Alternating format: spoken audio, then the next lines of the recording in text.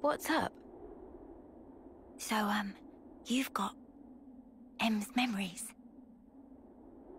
Eunie, why are we whispering? Roll with it. I do, yeah. Why, though? So tell me stuff. Tell you what stuff? Stuff about the Queen and Mobius. Anything you got. But like, what exactly? Like how the two are connected? Any secrets? Or where they are? Oi, no giving out exclusives. Lanz? We want to know this stuff too, right? Well, I suppose. But still, Yeah. I trust Mimi.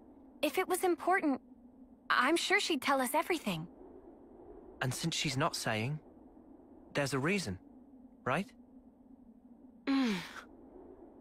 If it's about the Queen, you shouldn't hear it from me, but rather from Her Majesty herself, I think. The Queen's bound to know things that M didn't.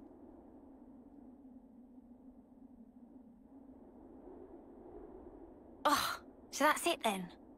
You're just gonna pass the buck? Well, I suppose so. Feels a bit stingy, that's all. Hey, no grumbling. I'm in the same levelness as you, okay? All right, all right. I'll yield. Might as well save my appetite for the main course.